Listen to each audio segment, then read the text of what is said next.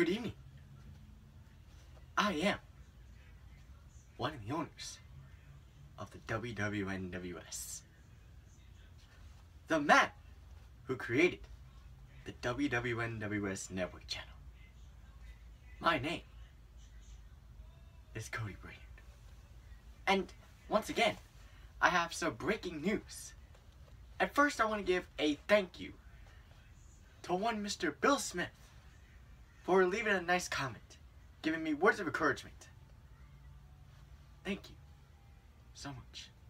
Now, on to the news, which in here, I actually have the article.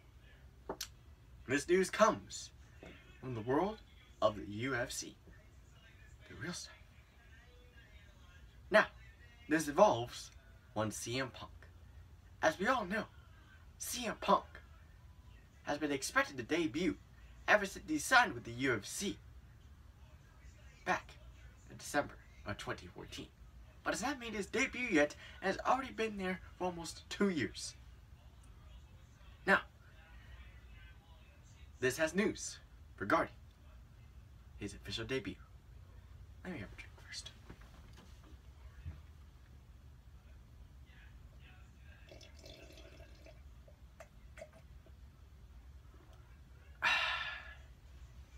so good. It appeared CM Punk's UFC debut versus newcomer Mickey Gall. Sorry if I mispronounced the name. Was set for UFC 202 in late August. But, according to MMA journalist Ariel Helwani, the fight will not be taking place during WWE's SummerSlam weekend. Helwani tweeted that the fight date is far from a done deal, but it's looking like it will happen at UFC 203. That's right, UFC 203. On September 10th in Cleveland, Ohio. Hmm. What a weekend they've had.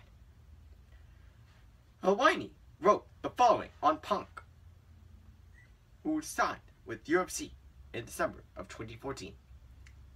Currently, plan, sorry, current plot at the moment is CM Punk versus Mickey Gall at UFC 203, per source. Far from a done deal, but that's the direction as of this moment. As of this morning. So, it looks like once again, UFC and CM Punk have yet to meet. In a ring, in an octagon. It seems like CM Punk's debut is delayed once again. Not by much, just by a couple of weeks. I wouldn't worry too much about it. But that is obviously the biggest news of the day that I have seen, other than Seth Rollins getting selected to be in a Sharknado movie. And yesterday, as you all know, Roman Reigns got suspended. So that is all the news I have for today. Tune in tomorrow while I give more breaking news in the world of professional wrestling or in the Octagon. Till next time. Remember, keep shooting.